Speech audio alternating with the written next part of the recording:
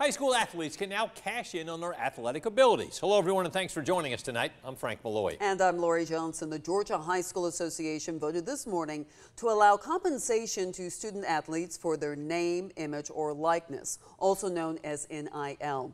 Cecily Stout joins us in studio to explain how it will work. Yes, Frank Lori. I spoke with the association's president, Jim Finch. He explained how the association got here, the benefits, and concerns for NIL in high school sports. NIL has become a well known abbreviation in the sports world, but for people unfamiliar, GHSA President Jim Finch explains it boils down to compensation. Compensation for their notoriety or their fame or their attachment to a certain school or sport or activity. But NIL is specific to opportunities off the field. Students should be able to profit off of this.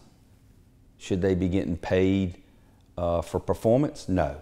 There are also restrictions when athletes do strike a deal with their NIL. Without necessarily uh, leveraging their school's name or their logo or the GHSA or whatever. And it cannot be used as leverage for recruiting.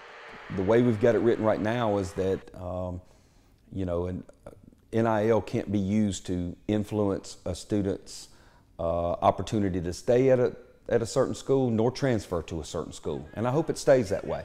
When high school athletes do find a deal, they need to follow the process within a week. They have to make sure that their school uh, is informed, and then uh, there has to be uh, a registration process with the Georgia High School Association as well. If athletes are found in violation of the NIL rules, the athlete and the school could be affected. For a student athlete, it would very much jeopardize their eligibility to, to participate in extracurricular activities, specifically athletics.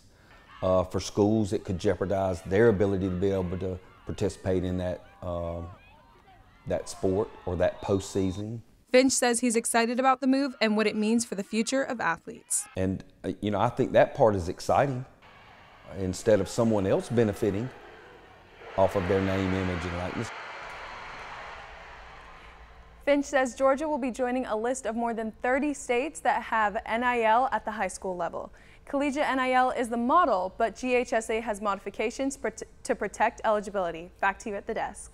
Thank you, Cecily. The GHSA restricted collectives or organizations dedicated to NIL. Those organizations are usually responsible for finding deals and then paying student athletes directly instead of the establishments the athlete works with.